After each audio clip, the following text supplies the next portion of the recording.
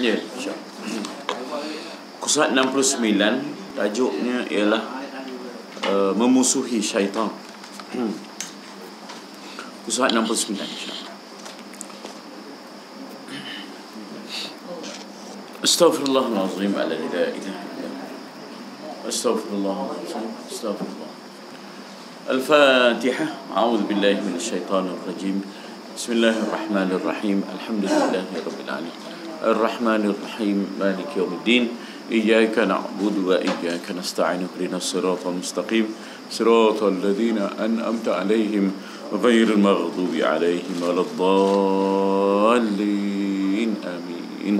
السلام عليكم ورحمة الله وبركاته. الحمد لله والصلاة والسلام على رسول الله alihi wa sahbihi ajma'in. Di atas tajuk uh, memusuhi syaitan daripada kitab Mukasyafatil Qulub ataupun penenang jiwa karangan Imam Ghazali rahimahullah wa nafa'na bi ulumihi fid darain amin di muka surat 69 perenggan bawah sekali ya eh, perenggan bawah sekali Qala al-musannif rahimahullah wa nafa'na bi'ulumihi fid darain amin. Diceritakan seorang zahid. Makna zahid ini ialah dunia itu tidak masuk dalam hatinya. Dunia itu hanya di tangan. Dia tidak tamak, ya, dia tidak rakus dan haloba.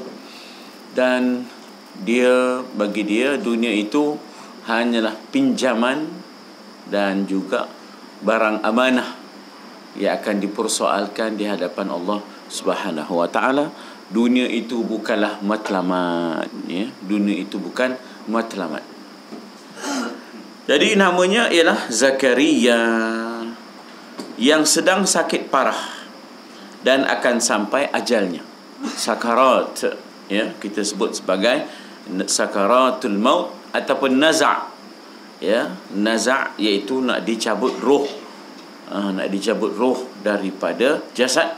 Disebut sebagai naza' daripada naza'a yanza'u ya. Uh, uh, kemudian disebut dalam suasana itu disebut sebagai sakarat. Dalam keadaan tidak dapat mengawal diri ya sakaratul maut. Hmm. asal makna sakarat ialah kemabukan. Dalam keadaan tidak dapat mengawal diri ya. Jadi katanya di sini ketika sakaratul maut seorang teman mengajarnya mengucap la ilaha illallah. Itu memang kita disuruh laqinu mautakum bila ilaha illallah. Talqinkanlah saudaramu ya yang akan mati itu dengan la ilaha illallah.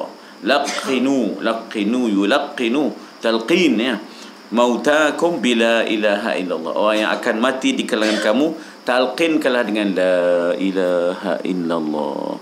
Ya? Maknanya janganlah sampai kita asyhadu alla oh, macam baru masuk Islam dah pula kawan tu. Ha, ha bukanlah suruh asyhadu alla ilaha illallah wa asyhadu anna oh kawan pun dah tak cukup nape ha, ha kita nak ngajar macam baru masuk Islam pula. Tidak eh kawan dah Islam dah. Jadi la ilaha illallah ya. Jangan dipaksa pula. Ha jangan dipaksa pula. Lereh lah. Oh lereh lah. Ha tak ada pula nak dipaksa pula eh tak. Hmm habuan masing-masing kita bukan tahu ya tak. Kita tinggal lagi kita berdoa kepada Allah. Allah maj'al akhiru kalamina bila ilaha illallah.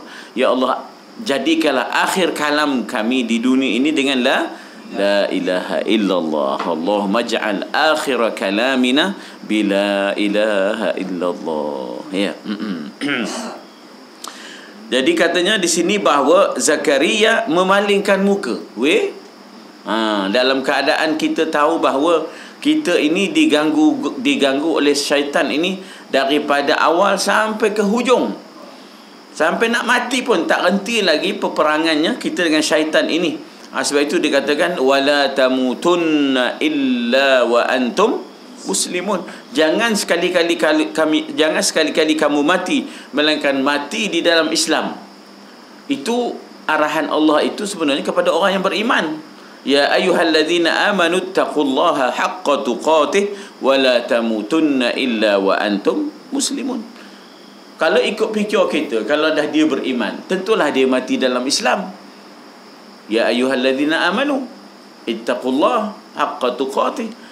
Tetapi rupanya ya Islam ini boleh tercabut di saat-saat akhir.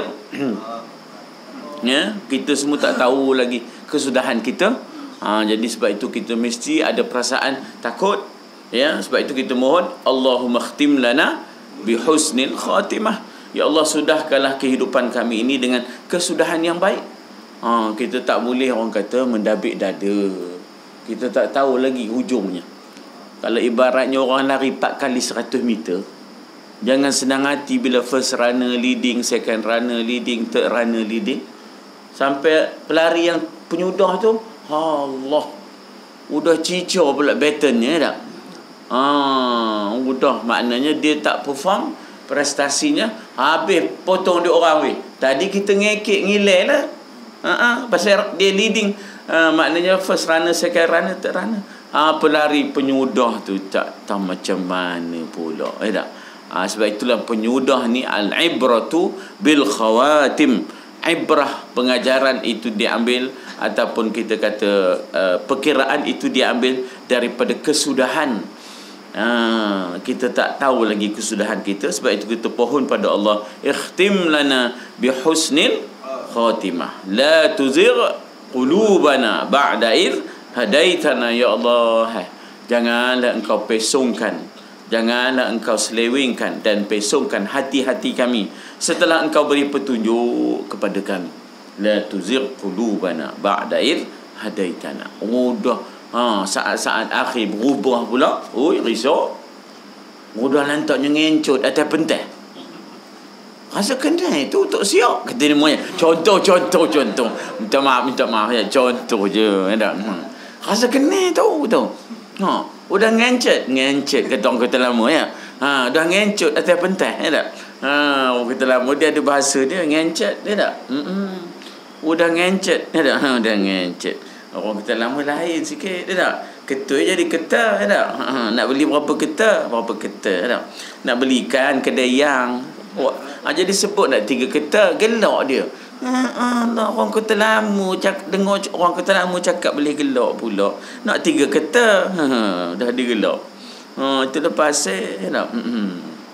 ha, jadi Zakaria ini memalingkan muka. Di saat itu mungkin dia didatangi juga oleh syaitan.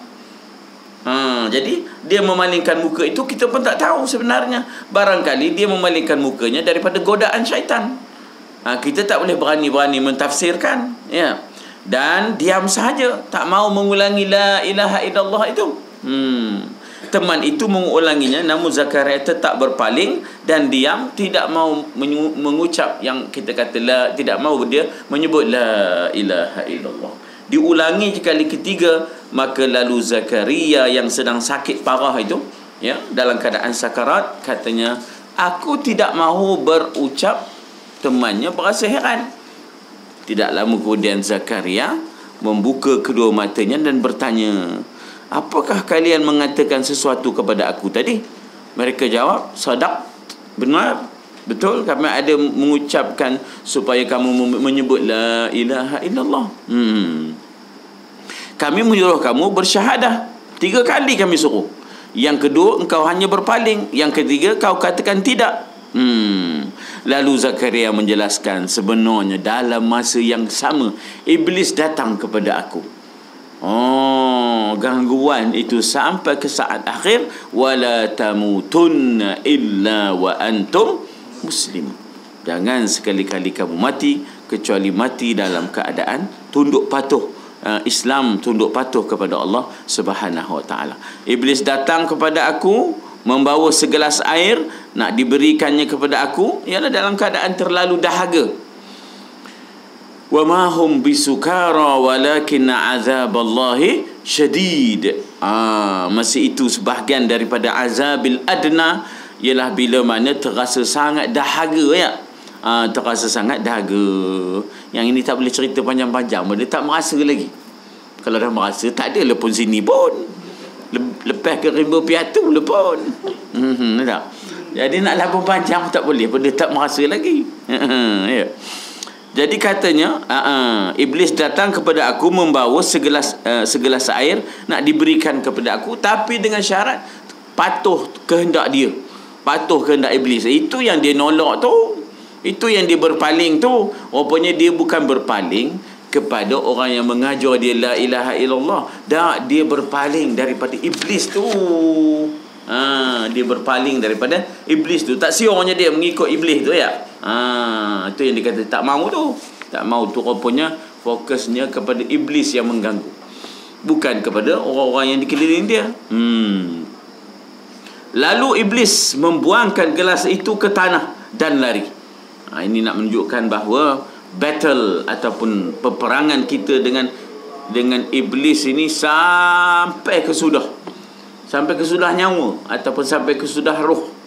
Ha, sebab itulah kita pohon kepada Allah ya muqallibal qulub sabit qalbi ya wahai Tuhan yang boleh membolak-balikkan hati-hati. Tetapkanlah hatiku ya Allah. Sabit qalbi ala dinika wa ala ta'atika di atas agamamu dan di atas ketaatan kepadamu. Ha, jadi maknanya di situ uh, macam-macam boleh terjadi di saat akhir. Ya macam-macam boleh terjadi di saat akhir. Itu yang kita risau. Kalau ibaratnya orang berlari leading ya nak mendahului peserta lain sampai-sampai dekat pintu penamat tu oh dah tolak pula. Orang lain mendada dulu ya eh wah mendada dia mau itu ya ha, udah cicau dia Elok dapat nombor satu dah jadi nombor tiga.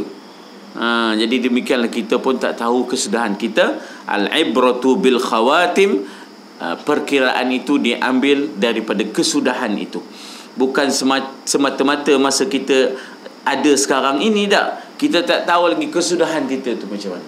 Ha, itulah kita pohon. Ikhtim lana bi husnil khatimah. Ya, wala takhtim alaina. Ya Allah, bisu'il khatimah. Janganlah engkau sudahkan kehidupanku ya Allah dengan kesudahan yang buruk. Ah itu ah, sebab itu kita mesti ada khauf war raja. Ada takut dan ada harap. Di antara khauf war raja. Dalam ilmu tasawuf disebut begitu ya. Mesti ada khauf kita ni. Ya jangan kita orang kata uh, berlampau-lampau seolah-olahnya kita lah yang menentukan itu kita tak tahu benda hati kita ini di dalam genggaman Allah Subhanahu Wa Taala. Ya. Ha, sebab itu kita sangat sangat risau. Ha, jadi dengan sebab itulah maka kita pohon kepada Allah sabit qalbi ala dinika wa ala ta'atik. Tetapkanlah hatiku ya Allah di atas agamamu sampai ke hujung akhir hayat dan di atas ketaatan kepadamu. Jadi maknanya di situ bahawa uh, untuk untuk untuk kita maknanya berada dalam husnul khatimah itulah kejayaan. Berada dalam husnul khatimah itulah kejayaan sebenar-benar kejayaan. Bila mana ending kesudahan kita itu di dalam husnul khatimah. Jadi mesti ada perasaan takut. Apakah dapat terus kita ya dengan iman apakah dapat terus kita dengan keyakinan? Ah, mesti ada perasaan takut itu. Dan dalam masa yang sama jangan terlampau takut hendaklah juga harap. Bainal khaufi war raja antara takut dan harap. Ha, itu balancingnya. Ya balancingnya ialah antara takut dan harap. Jangan takut saja tanpa harap. Jadi putus asa pula. Jangan harap saja langsung tak ada takut. Ah ha, dia jadi sombong pula ya dia terlampau harap dia overconfident. Teman ni sebenarnya kalau kalau matilah syurga tu tak ada masalah. Tinggal lagi nak pilih pintu. Je oh mak. Jangan kopi tu ya tak? Bukan kita punya. Ha bukan kita punya ya tak? Ha? Ha. Ha. Apa ndak lagi? Oh sudah. Main tak tinggal. Ha ha dah. Inilah. Hmm. Ya, eh, jangan. Ha ah, sebab apa? Bila mana ada perasaan ujub, udah batal pahala-pahala. Ya nak? Ada perasaan terkebur kata orang Perak, terkebur ya? Ha, bahasa Arabnya takabbur. Kita camp kita ubah jadi terkebur, terkebur. Hmm. Ada perasaan takabbur.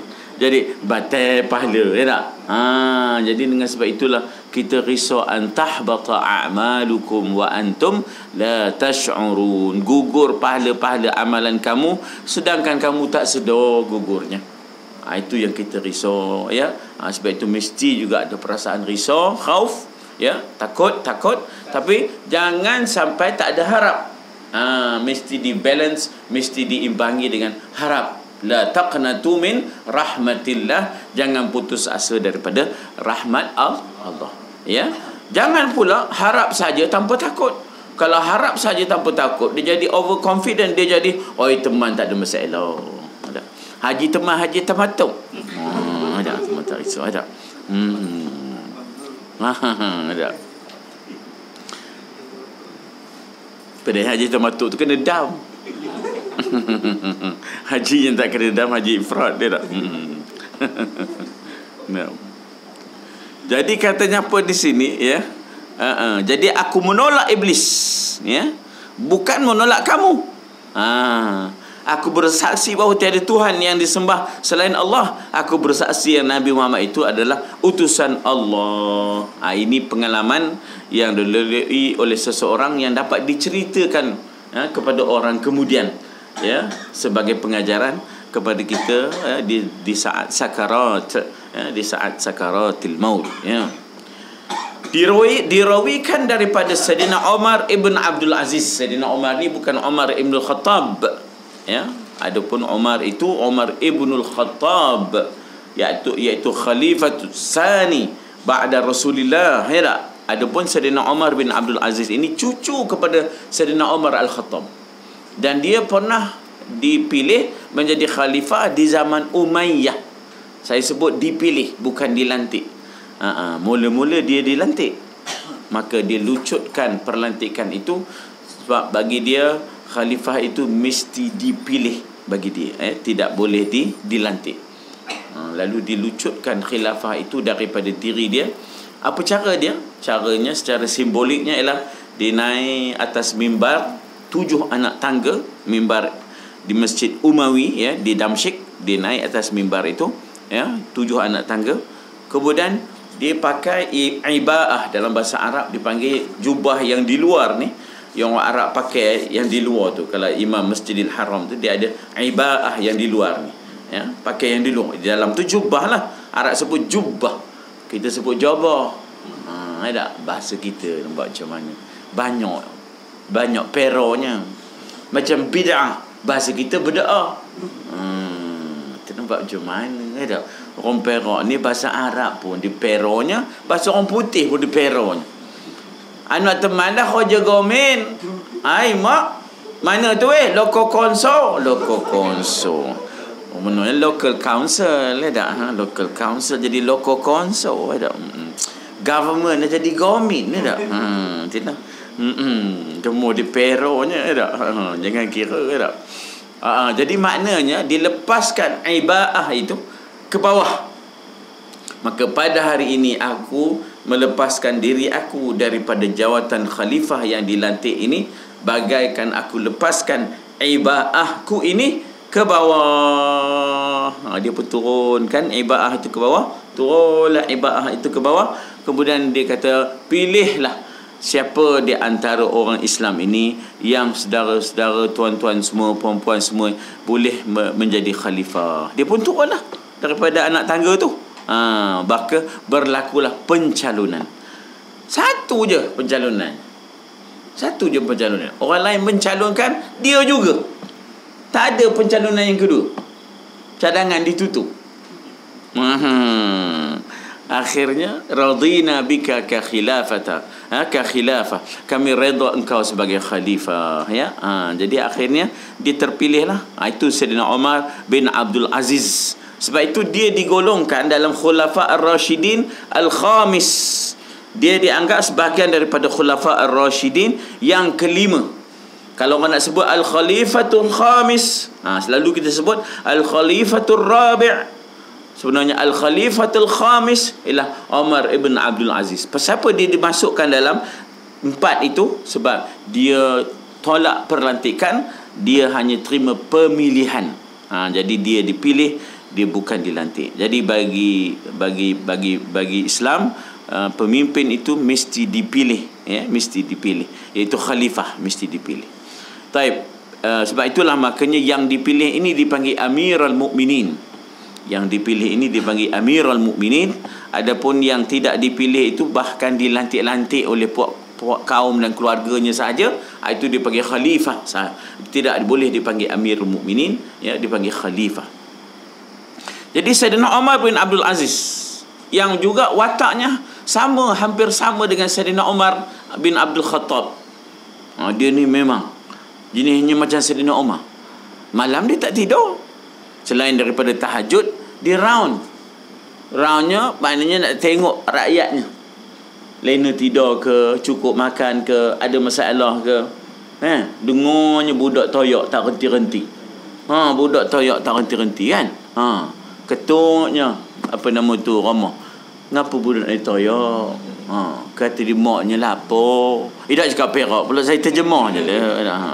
kata dia maknya lapo atau apa benda dalam tu tu dalam poyok tu katanya batu ha katanya batu Ataupun kerja pula apa dimasak batu. Ha tak ini terjemah cakap peraknya, terjemah cakap perak ya. Ini nak ngecek budak tu.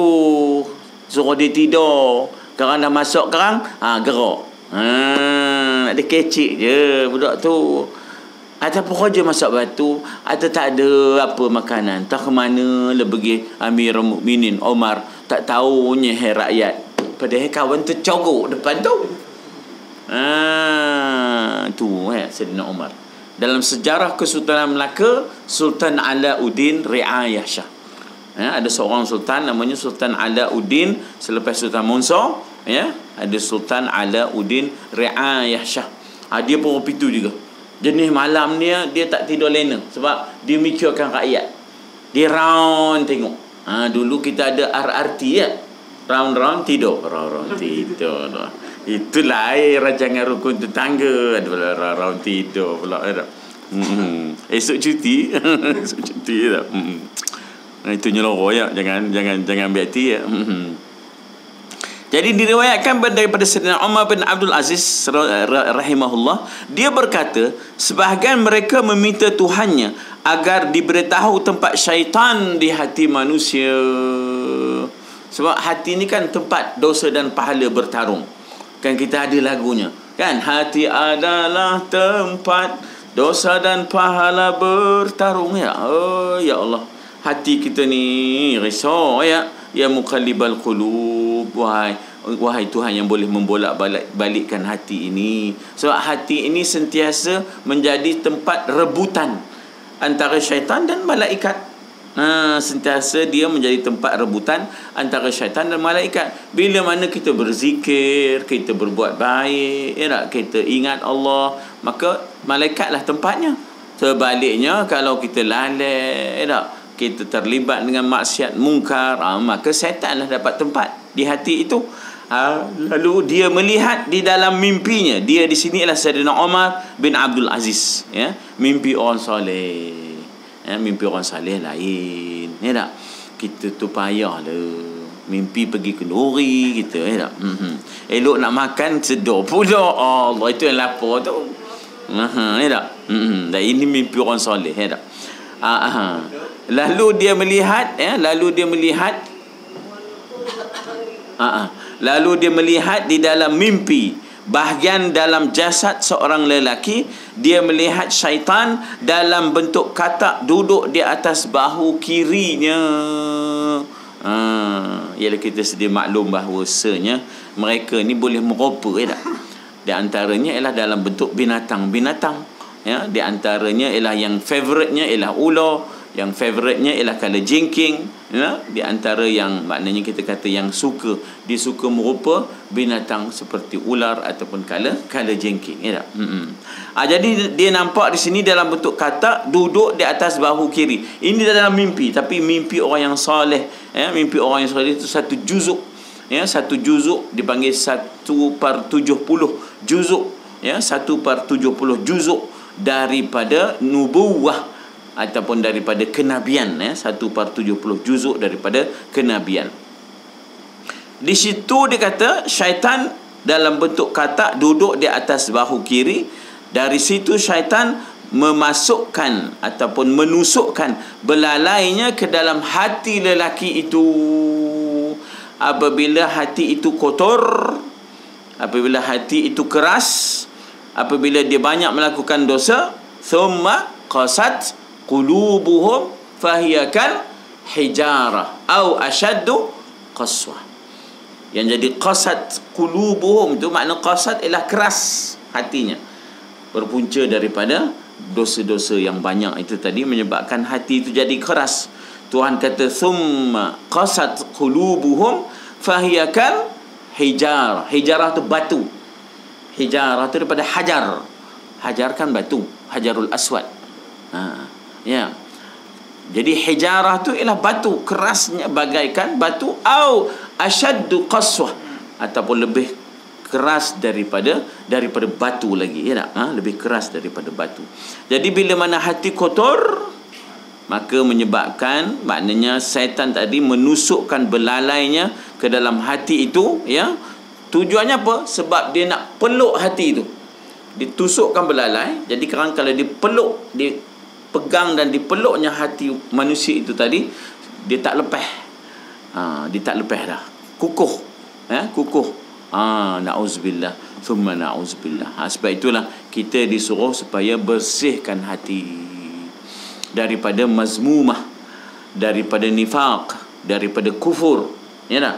Daripada syak daripada zon bersihkan hati daripada maz mazmumah daripada dengki daripada takabur daripada Allah eh. segalanya lah perlu dibersihkan kemudian jangan dibiarkan kosong masukkan pula sifat mahmuda ikhlas ridha qanaah ya tawadhu ya merendahkan diri ya eh? tawaduk merendahkan diri uh, lawan daripada takabur tadi ya lawan daripada takabur bersangka baik ya maknanya husnudzon uh, lawan daripada suudzon ya tak? Ridha lawan daripada maknanya hasad tadi ya dan sebagainya. Jadi proses ini dipanggil takhliyah dan tahliyah. Takhliyah ialah kita bersihkan tahliyah ialah kita hiaskan.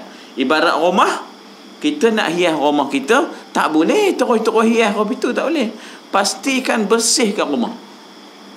Kita nak ngecat rumah tak boleh terus ngecat. Ha? Ambil sandpaper dulu eh tak? Ambil kotak pasir ambil penyapu cuci dulu pakai apa nama ni water jet ke apa bendanya. Apa itu barulah kita beri eh? Mana maunya pengor bau tiba-tiba kita beri pengor pupuk leroknya pengornya. Lepas tu kita pun ngiah ngantung lansia le. Badannya kita apa bendanya? Mana maunya? Keluar kalau dulu segala pupuk lerok tu segala pengor tek kucing tu keluar. Basuh dulu terus je terus lansia mana maunya Lansio tu lansi lah. So, ha, kalau so, tak tahu ada orang Perak kata lansio bukan lansuyo, lansuyo lain. Lansuyo tu girlfriend pada hantu raya, ya tak? Hmm. Ha, ha. Jadi katanya di sini bahawa aa, kita disuruh supaya maknanya di sini bahawa dia kata di sini bahawa bagaimana kalau ia menusuk ke dalam hati laki tersebut serta mengusik hatinya manakala laki-laki itu berzikir maka mengecillah belalai itu terlepaslah ia daripada lubuk hati. Ya? Dan akhirnya dapatlah maknanya dibersihkan hati itu. Jadi maknanya betapa ala bi zikrillah tasmainnul qulub. Dengan zikrullah itu hati akan tenang. Tanpa zikrullah kita gelisah je. Sebab itu orang dulu-dulu bila tengok seseorang tu gelisah ceduduk bawa selawat ke nabi. Ya tak? Ceduduk ceduduk bawa selawat ke Nabi. Ya, ingat ke Tuhan. Kulu kelia, kulu kelia puntan pantin. Ya tak? Ha, cuba duduk. Selawat. Ha, orang dulu kan orang itu. Orang sekarang ni dah kurang. Apa? Dia pun juga kulu kelia juga. Ha, tak usah kata dia nak nasihat orang muda. Dia pun kulu kelia juga. Ha, dia pun puntan pantin juga. Ha, jadi macam manalah kita ya tak? Nak nasihat orang kalau kita pun tak ada sifat itu ya. Saya nak bagi orang buah binjai. Kalau saya pun tak ada buah binjai, macam mana? Ah tak apa tak apa, kan teman cari buah binjai, teman bagi mereka. Bila orang tanya, mereka ada ke binjai? Harap. Mana maunya? Ha, jadi ibaratnya begitulah ya tak? Macam mana kita nak boleh bagi zikir kepada orang ingat Allah, kita pun tak ingat Allah ya. Ha, jadi begitulah ya. Maknanya betapa dalam ilmu tasawuf ini dia sebenarnya menghukum diri sendiri. Dia dia berbeza dengan fiqh. Fiqh dia menghukum orang. Tasawuf dia menghukum diri sendiri. Tapi kita kata fiqh pun perlu juga. Tasawuf pun perlu juga supaya seimbang. Dalam hidup ini kita jangan nampak salah orang je kita kena tengok juga salah kita. Ha, jadi supaya kita itu ada seimbang antara fiqh dengan tasawuf kata orang lama ya. Orang lama kata tasawuf itu tasawuf. Ha, cerita Peramli sama-sama ngaji tasawuf. Oh, semanggoy. Ah, semanggoy dah. Orang dulu ngaji tasawuf ni tinggi kena pergi semanggoy. Ha, ceritalah cerita Peramli ya tak? Hmm. Ya Allah janganlah engkau kuasakan syaitan Maknanya janganlah engkau beri pengaruh syaitan itu Menguasai hati Sehingga fikirnya setan Ya tak? Cakapnya setan Ya tak? Perbuatannya setan Setan kata Ahmad Nisbu Ya tak? Panjang ya tak? Hmm.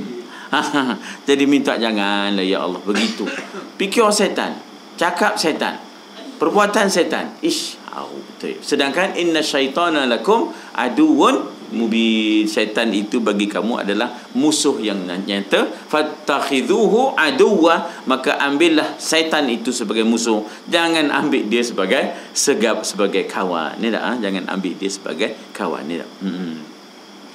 Janganlah engkau kuasakan syaitan. Maksudnya ya Allah, ini doa lah ni. Janganlah engkau bagi peluang pada syaitan menguasai aku ya Allah menguasai diri manusia dan menghasut kami. Tolonglah kami untuk berzikir mengingatimu. A'inna ala zikrika wa syukrika. Ya? Tolonglah kami untuk berzikir dan bersyukur. Itu yang doa yang kita selalu selalu buat. A'inna ala zikrika wa syukrika wa husni ibadatik ya? Tolonglah kami untuk kami ini ingat zikir kepadamu ya Allah. Syukur tidak kufur atas segala nikmat ya Allah. Dan juga wa husni ibadatik dan juga beribadah dengan sebaik-baiknya ya?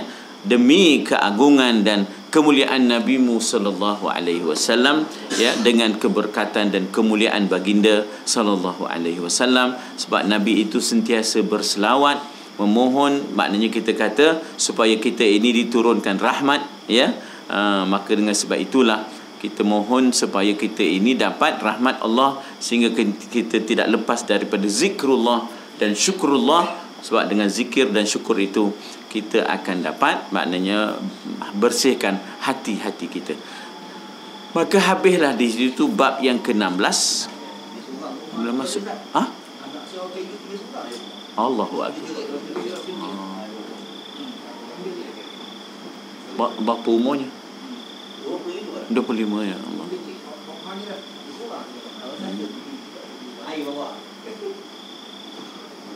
Perempuan? Laki? Laki. Allah.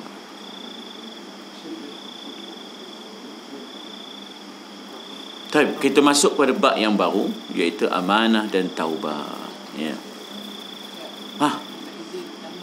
Ya ya boleh boleh. Bab mengucap tadi ha.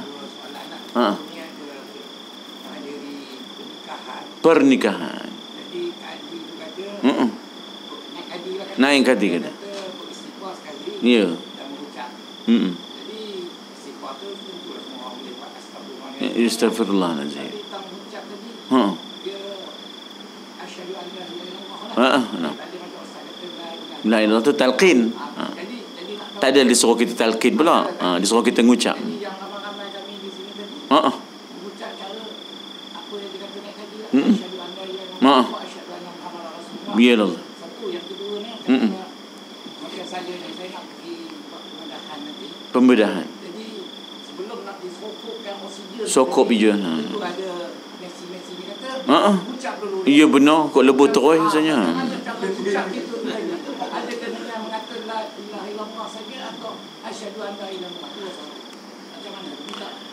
Puncanya ialah kenapa? Sebab apa kita kata kadang-kadang mungkinlah tercakap dengan cakapan yang boleh membatalkan syahadah. Terbuat dengan perbuatan yang boleh membatalkan syahadah. Jadi supaya clean rekod kita, bersih rekod kita daripada perkara-perkara yang tidak elok itu yang membatalkan syahadah itu, itu yang Naib Qadi itu minta kita semua bersyahadah. Sebab apa? Dunia dah akhir zaman. Eh, dunia dah akhir zaman ni kadang-kadang macam-macam yang kita tengok macam-macam yang kita lihat kadang-kadang barangkali kita terpesona dan terkesima. Bahasa bahasa bahasa orang sekarang terkesima ya tak? Terpesona dan terkesima dengan melihat sesuatu yang barangkali boleh membatalkan syahadah. Dia nak pergi nikah kahwin di mana? Di Gombak atau atau lalu dekat Murugan Kan Murugan kat Gombak duduknya kat Batu Cape. Udah dinongok tengok Murugan tu ya. Oh, oh lawa Murugan. Udah lawa katanya Murugan tu ha. Meh pula tu 40.7 meter. Mok dekat 50 meter tingginya. Ya tak? Ha, ya tak? Ha, Saridu ni viral pula iaitu di Sulawesi ya tak? Patung Jesus yang tertinggi ya tak? Atas bukit tinggi pula tu. Oh, di Sulawesi ya. Ah, kita pula ada murugannya. Kau lantak terpesona. Kerana dia nak jadi saksi nikah. Ah, jadi maknanya kita kata bahawa kita takut adanya rawasib jahiliyah itu. Adanya peninggalan-peninggalan zaman jahiliyah itu pada diri kita. Jadi kita pun istighfar, kita pun mengucap supaya kembali semula kepada keimanan yang sejati, ya, keislamannya maka nanti persaksian untuk nikah itu menjadikan ianya kemah bersih daripada syubhat samar-samar kenapa kalaulah tiba-tiba yang menjadi saksi ke yang menjadi wali ke tak apa-apa. Nalo kera wanda letak gini stout punya kan? Saksinya saksinya haru biru punya saksi. Ya tak? Udahlah haru biru pula tu. Eh mo ya tak? Ha, jadi mana kod saksinya haru biru ya tak? Hmm jadi sebab itulah makanya bersyahadah itu supaya memperbaharui ha i'tiqad ya tak memperbaharui keagamaan dan keislamannya. Adapun tadi yang dikatakan bila nak operation tadi disuruhnya kita mengucap wajar. Itu sebahagian daripada amar ma'ruf. Sebab apa? Manalah tahu ada orang jenis-jenisnya bila tak sedar tu langsung tak sedar koma terus full stop. Koma terus full stop betul.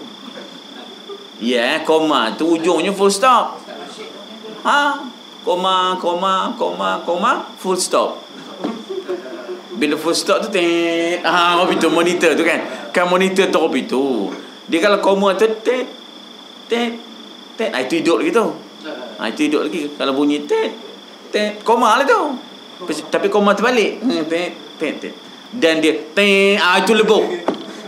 Tapi ke bantu dua ah, jadi risau kalau tiba-tiba di ujung-ujung tu langsung tak ada. Maknanya mengakhiru kalamina bila ilaha illallah. Ha, jadi elok dah tu apa yang dibuat oleh misi tu elok dah tu. Ha, ha, ya tak sejuknya masa itu. Ngapa kita kena tanggai baju. Apa semua ya tak? Pakai baju demo. Baju hospital tu. Sejuknya betul barin pula atas besi yang besi katil tu lah katil tu. Sejuknya saya pernah merasa dah apa nama ni ni? Apa nama ni operation ni? Allah sejuknya lah ya tak? Hmm masuk MRI tu pun ada yang barin masuk dalam terowong tu ya? Ah tumpul aku. Hmm ah ngucap. Betul? Ha ya.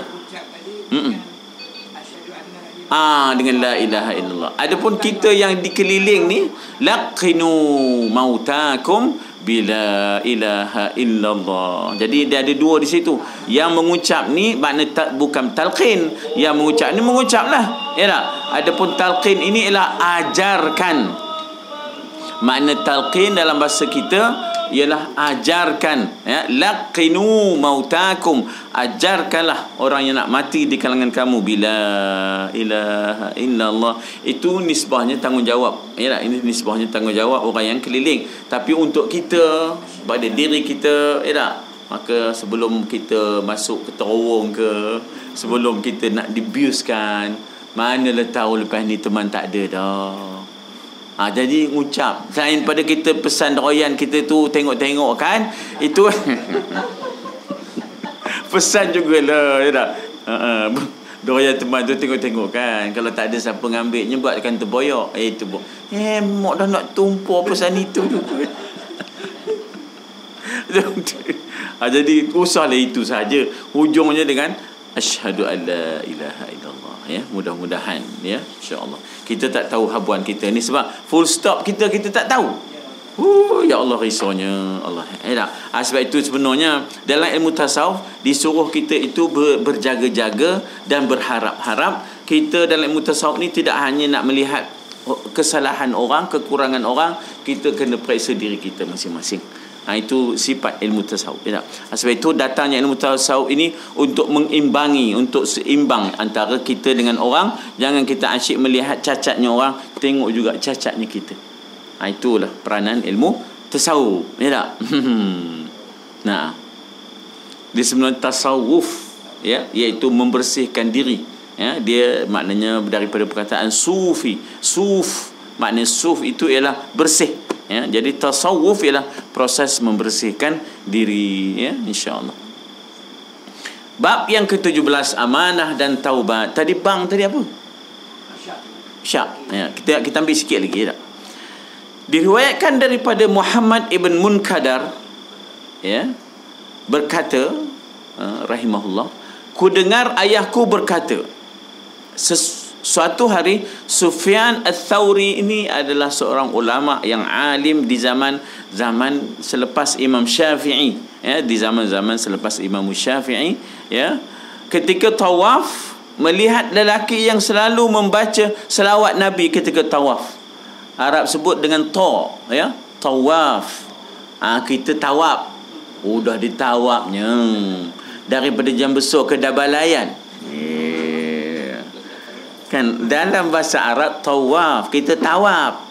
Habis kuala di tawafnya siwa mikir ingat buat haji ke? Ingat mikir ingat miqat ke tu? Dah balayan tu. Yang mikir nyebut tawaf-tawaf tu. Oh sudah. Ha, tapi itu nak menunjukkan pengaruh bahasa Arab tu kuat. Kan kita pengaruh bahasa Arab ni kuat. Ha, sebab itu kalau kita kalau orang tu jahat lah kamu mengalahkan Fir'aun. Ha, tu. Itu bahasa Arab itu mentemang korek-korek. Ya tak teman nak buat jamban belakang rumah korek-korek jumpa harta. Karun. Karun itu pengaruh Arab. Dia tahu. Karun tu korun. Ha kata korun. Hmm, kata karun dia terbenam di Mesir yang kita kata aja jumpa belakang rumah. Mana pasal ya tak? Itu nak katakan pengaruh. Pengaruh Arab tu kuat ya tak? Sampai kalau jahat tu kita kata Firaun ya tak? Ha, ha. mana ada sultan pakai Firaun ya tak? Hmm.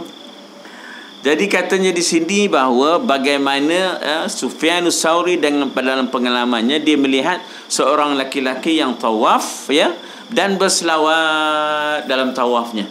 Ha, selalu kita dengan tawaf ni ada bacaan-bacaannya. Allahumma innaka inna baitakal azim wa wajhaka karim ya wa inna wa, wa anta ya Allah afuwun karimun tuhibbul afwa fa fu anna ya. Mm-mm.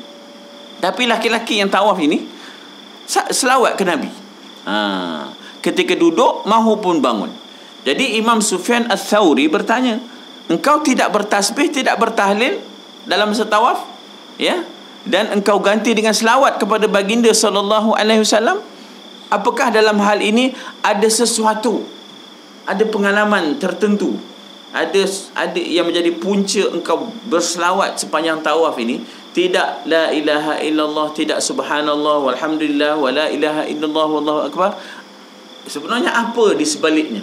Ha, jadi maknanya Imam Suf, Imam Sufyan al-Thawri dia tidak terus membida'ahkan ya dia tidak terus membida'ahkan. Sebab setiap orang itu bila dia beramal barangkali ada punca-puncanya. Ha, ada sebab-sebabnya.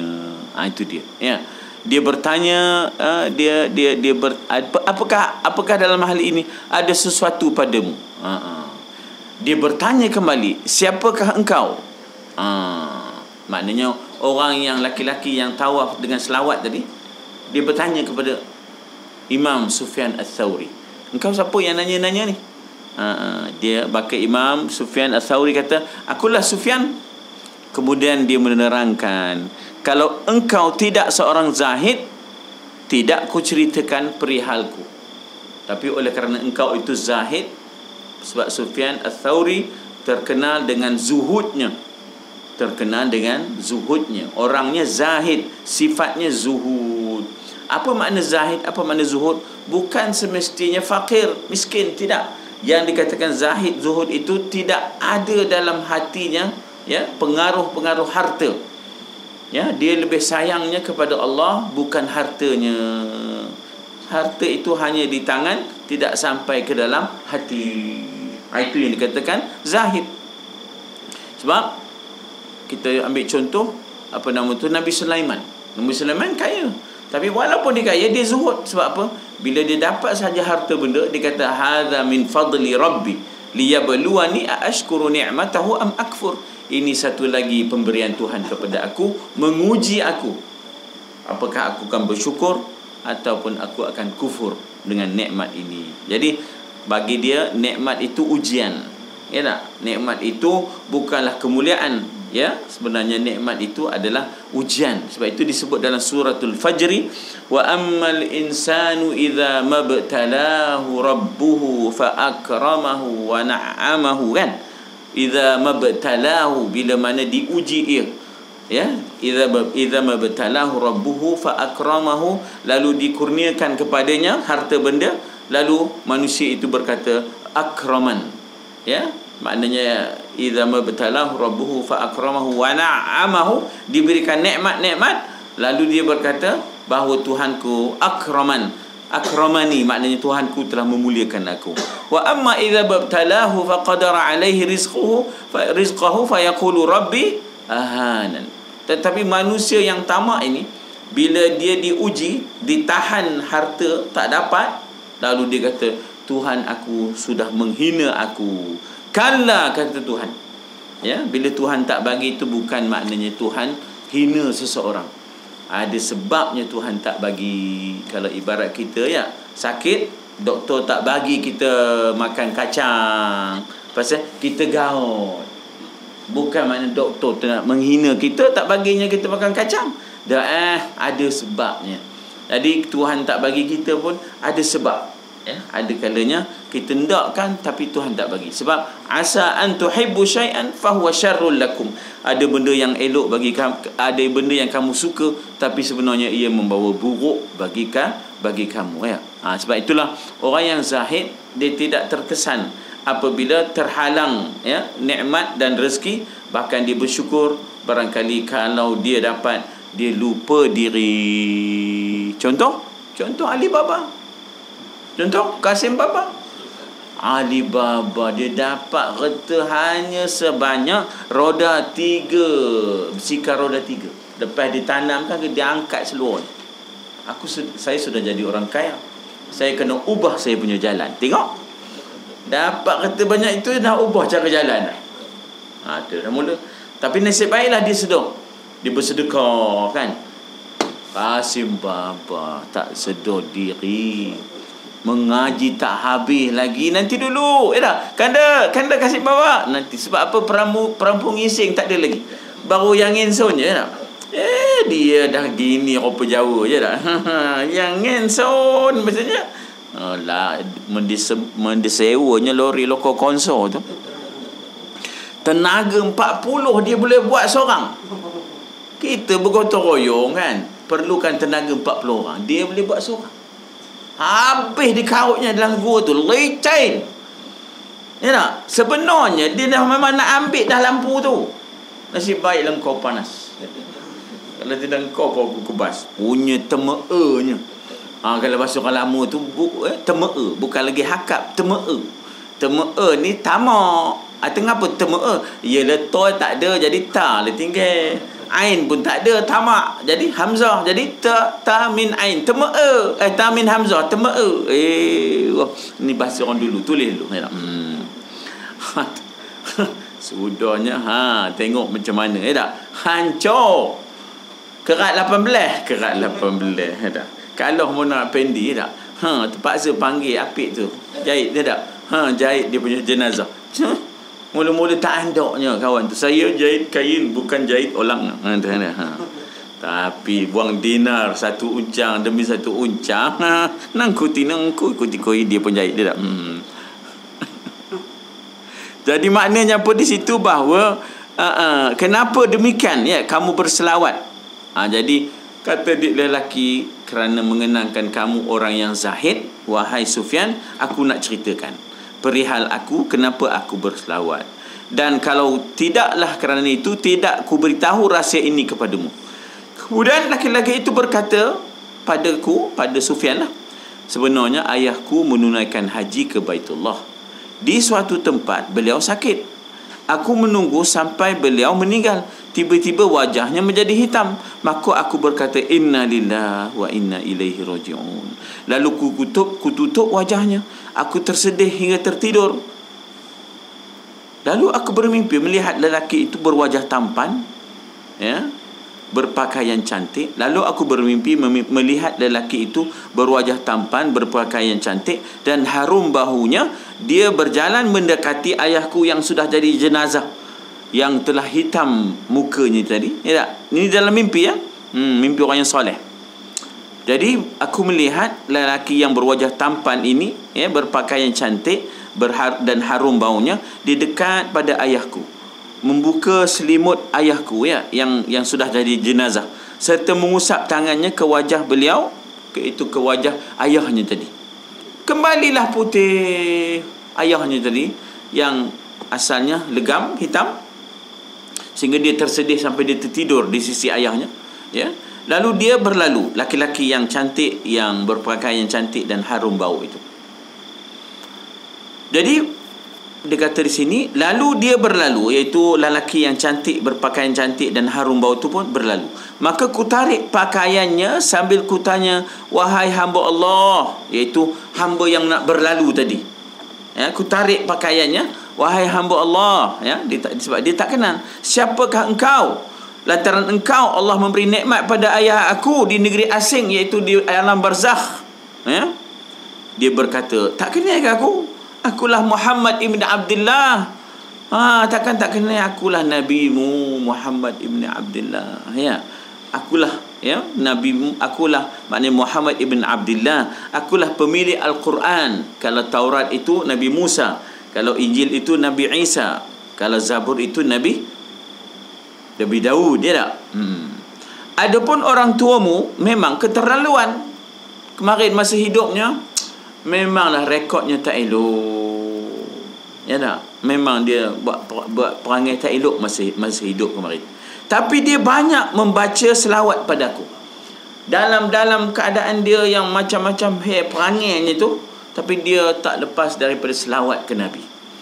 Orang tua kamu ni yang jadi boleh hitam mukanya sebab prestasinya masa hidup kemarin perangainya masa hidup kemarin memang tak elok tapi ada satu benda yang dia ini suka amalkan iaitu selawat ke Nabi. Ha, ya. Selawat padaku. Ketika ditimpa bencana Dia memohon pertolongan padaku. Sedangkan aku penolong orang yang membaca selawat kepada aku. Yang disebut sebagai syafi' Nabi itu Allahumma salli ala sayyidina wa nabiyina wa habibina wa syafi'ina Nabi itu sebagai syafi'ina yaumaz ziham ya Nabi sebagai yang boleh membantu. Tapi syarat nak dapat bantuan Nabi itu kena banyak selawat. Ha, sebab itu kita bila dengar je nama Nabi sallallahu alaihi wasallam. Ya tak? Orang sebut nama nabi ya kita pun sallallahu alaihi wasallam. Ya, jadi oleh kerana dia banyak berselawat kepada aku ya maka aku pun datang menziarahi jenazahnya. Nabi datang menziarahi jenazahnya dan mengusap mukanya sehingga kembali bersih. Ha. kemudian aku terbangun dalam daripada mimpi dan wajahku kembali putih. Jadi mengenangkan peristiwa selawat tu itulah yang aku berselawat sekeliling sekeliling Kaabah itu. Maknanya berkat selawat itu ke atas ayahku berubah muka yang hitam menjadi putih. Maka daripada situlah aku terbawa untuk sentiasa berselawat. Ya itu yang akhirnya bila dia sentiasa berselawat keliling Kaabah tu menyebabkan Sayyidina Umar nak tahu apa kisahnya kamu ni. Yang kamu tak ada subhanallah walhamdulillah wala ilaha illallah wallahu akbar apa sebenarnya yang menjawabkan kamu? Banyak berselawat masa tawaf itu. Ha, jadi maknanya Sayyidina Umar Ibn Abdul Aziz eh, sorry iaitu Imam Sufyan Ibn Thawri tidaklah membida'ahkan ya. Bahkan dia nak tahu seseorang itu ada pengalaman masing-masing. Ya apa puncanya ha, apa puncanya? Wallahu a'lam. Di sini sebenarnya tajuk kita ialah amanat amanat dan taubat. Maknanya uh, taubat ya taubat seseorang itu diterima dengan banyaknya dia berselawat ya kepada baginda sallallahu alaihi wasallam. Bahkan doa kita mustajab dengan selawat lah pun. Tak tak mustajab doa kita. Kalau kita terus berdoa tanpa selawat. Ha, itu yang kita alhamdulillahirabbil alamin. Wassalatu wassalamu ala asyrafil anbiya wal mursalin. Barulah kita berdoa. Ya tak? Ha, serupalah bila mana kita tadi maknanya nak ber, nak berdoa ataupun kita maknanya kita kata nak berucap Alhamdulillah Rabbil Alamin Wassalatu wassalamu ala ashrafil anbiya. Jadi sentiasa ni kita tak lepas Daripada selawat ke Nabi. Dalam sembahyang Luar sembahyang. Ya Dalam sembahyang Luar sembahyang. Betapalah kita Patut berselawat kepada Nabi Sedangkan Allah dan malaikat pun berselawat ke Nabi.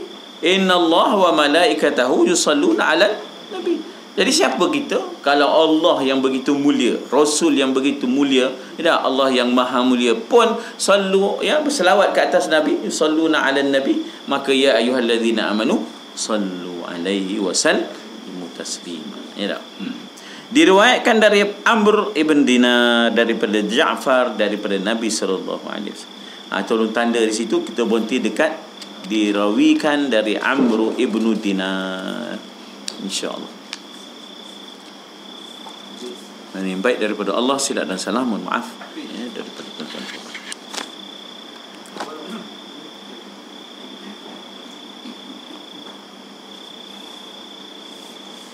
أعوذ بالله من الشيطان الرجيم بسم الله الرحمن الرحيم الحمد لله والصلاة والسلام على رسول الله وعلى آله وصحبه أجمعين اللهم انفعنا بما علمتنا وعلمنا ما ينفعنا وزدنا علما اللهم أخرجنا من ظلمات الوهم وأكرمنا بنور الفهم وافتح علينا بمعرفة العلم وسهل أخلاقنا بالحلم صلى الله عليه وسلم محمد وعلى آله وصحبه وسلم الحمد لله رب العالمين تقبل الله منكم